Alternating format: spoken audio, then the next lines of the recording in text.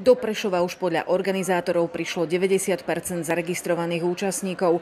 Mnohí prišli preto, lebo boli i na podobných stretnutiach mladých v Ružomberku i Poprade. Zaujímavý program a určite sa tu nájde spoločenstvo ľudí s rovnakými hodnotami. Chcela som spoznať nových ľudí.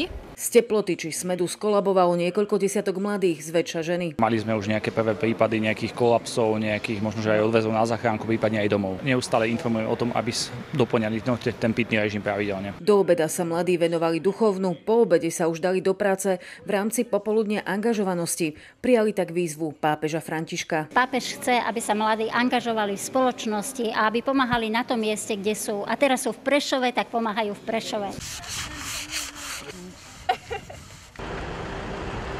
Teším sa, že tí mladí majú odvahu. Preto sa nebálo viac ako 2000 mladých vziať do ruky metly, štece či vrecia na odpadky, aby skrášlili hostiteľské mesto. Som interiérový dizajnér, neprekáža práve naopak, som veľmi spokojný, keďže často sedím v kancelárii celé dne, takže toto mi úplne prospeje.